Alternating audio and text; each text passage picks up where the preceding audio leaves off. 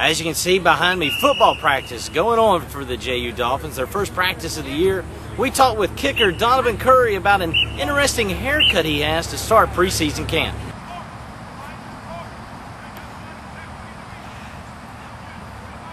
Kicker Donovan Curry's haircut just a little bit special this season for preseason camp. Uh, talk a little bit about your haircut and what prompted this uh, new do for the preseason camp. Well, uh, every year it's kind of a tradition. You know, the senior year, sen- senior players and junior players, you know, upperclassmen usually come into camp with crazy haircuts, mohawks, all kind of stuff, and uh, uh, some uh, other kickers got some, some linemen, quarterbacks, everybody's got it, and uh, we all cut each other's hair, had our own uh, ideas. We figured it'd grow grow back eventually, anyways. So by far the dolphin is the most popular. Obviously it would win all the fashion contests.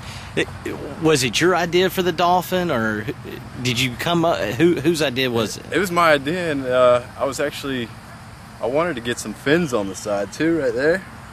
But uh, when they were doing the mohawk they started going too far and then messed it up on one side so we had to just go with the regular mohawk.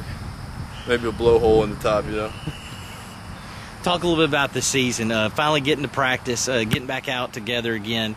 Uh, it's a little hot, but it, it's good to be back out again. It, it is hot, but it's it's great to be back out. Um, you know, we got a lot of young players. We got a lot of good recruits coming in.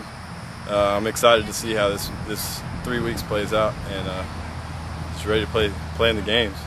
That's it for today's practice report here on JUDolphins.com. Tune in on Monday when we'll start our position by position breakdown with the quarterbacks and JU head coach Kerwin Bell.